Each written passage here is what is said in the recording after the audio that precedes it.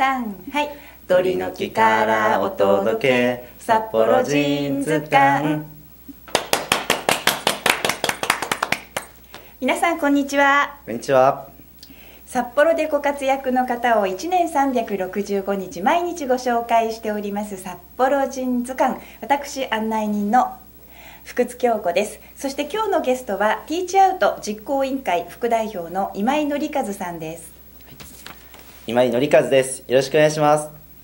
はいよろしくお願いします。今井さんなんか実年齢を伺いましたけれどもそうだな年相応に見られる？もっと若く見られる？老けて見られます。そうですか。もっと老けて見られるか。えっと私はなんか若手の人が来たと思って今年齢いくつでしたっけ？今24歳です。24歳でございます。えっ、と札幌出身で高校が北高札幌北高で、はい、で大学が早稲田早稲田大学、はい。優秀でございます。高田大学。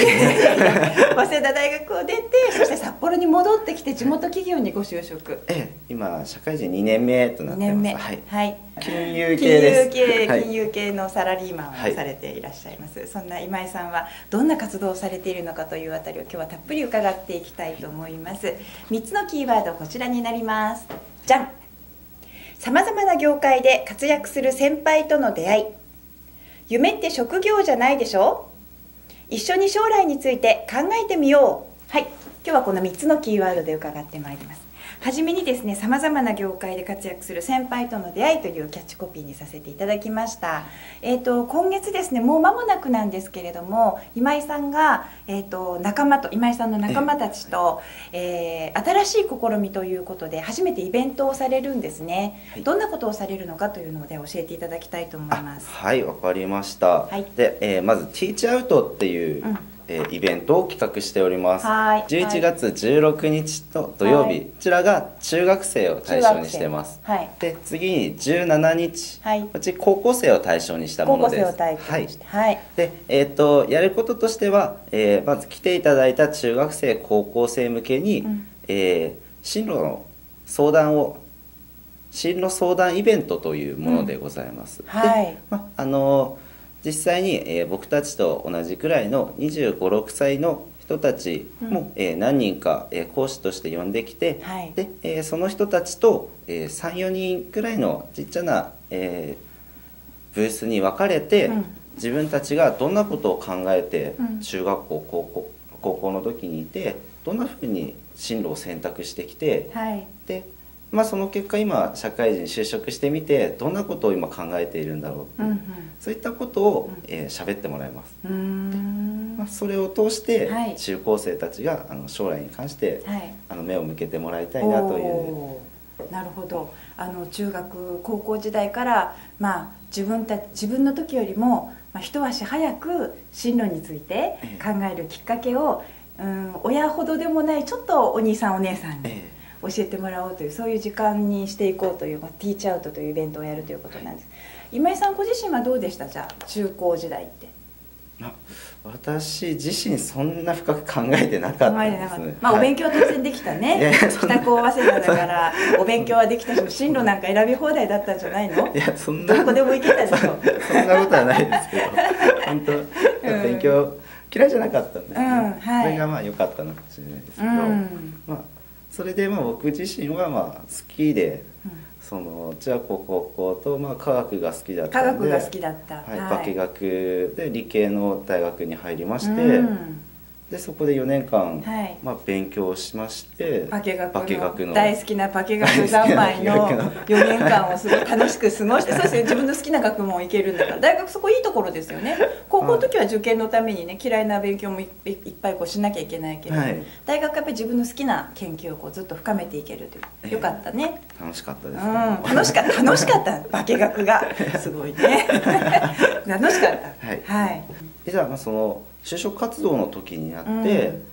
まあ、最初はその化学が好きで人と話すこともそんなに苦じゃないので、うんはい、まあ、そういう化学のメーカーの営業とかっていうのを最初は考えたんですけども、化学薬品会社の営業みたいな。まさにそうですそうです、はいはい、これはいいかなと思ってたんですけど、うん、まあいろいろ考えてみた時に、はい、まあ、その時に、あの出会った本がありまして、うんはい、でそれあのグーキャリっていうグーキャリはい、あの偶然のグーにキャリアの、まあ、キャリアはカタカナですね、はい、キャリグーキャリっていう本なんですけれども、はい、まあ、そこでこう提唱されている考え方っていうのが、うん、その自分のまあ5年後10年後っていうのは先のことなんていうのはわからないでしょうと、え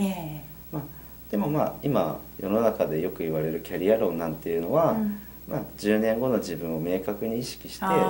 目標を決めましょうと、はい、で5年後じゃあこれしてなきゃいけないよね、はい、3年後何しなきゃ1年後何しなきゃ。逆算してね、はい、準備して夢が叶うようにと、はい、で今1年今はじゃあこれをやるっていう、うん、そういうスタイルのものが多くて、うん、でもそれってそのルート通れたらいいですけど、うん、100%それ通れなかったらどんどんどんどん挫折してっちゃうでしょそうだそうだそうですね、ね、うん、じゃあでもじゃあそれに外れたらその人たちって満足した人生じゃないのかなとかそんなことはないそんなことないですよね、はい、そんなことないと思いもちろんなんかいろんなことがあっていろんな経験があっていろんな人と出会って、うん、それで今があるわけで、うん、それをそんな最初から決められないので、えー、そうじゃなくてその今を大事にこう考えていって、はい、その自分の中のコアなものを作っていきましょうと。いう考えだったんですけれども、うん、まあ、それを考えた時に、はい、僕が、えーまあ、地元の北海道だったりとか、はい、札幌が好きだっていう、はい、気持ちが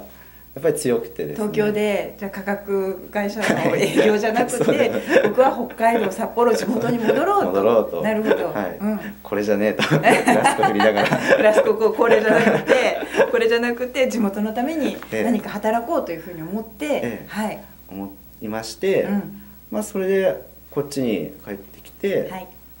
まあ、就職活動、まあ、こっちの企業に働くっていう決意をしたっていう。うんこちらもあれですよ。金融業界。あの皆さん 地域の皆さんのためになるためにおいら頑張って就職しました。狭き門をくぐって。ね。そう言われちゃうことになりますよね。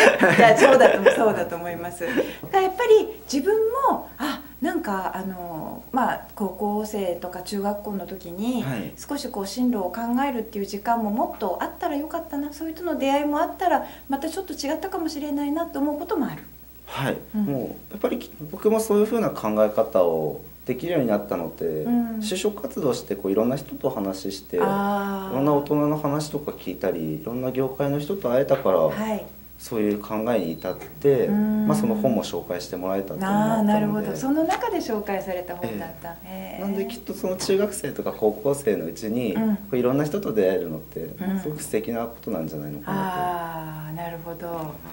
ということで、えーとまあ、対象となるのが16日が中学生、はい、17日は高校生ということ、はい、親御さん来ちゃったらどうする？あ全然ウェルカムです。大丈夫ですか？はい。もう親御さんも一緒に、うん、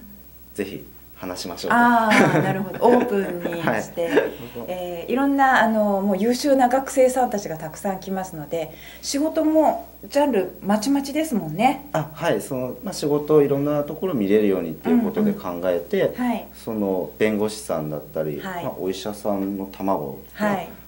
あと教員商社メーカー、うん、